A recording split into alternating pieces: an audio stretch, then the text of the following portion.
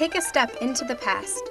It's time for the 43rd annual Madison County Cover Bridge Festival, October 13th and 14th in beautiful Winterset, Iowa.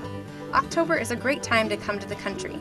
See the fall colors, experience the friendliness of the community, and the great fun this annual festival provides to its goers, with guided tours of the bridges, food galore, an old fashioned spelling bee, scavenger hunts for the kids, and much, much more. The past is waiting for you. October 13th and 14th in Winterset, Iowa. Come join the fun.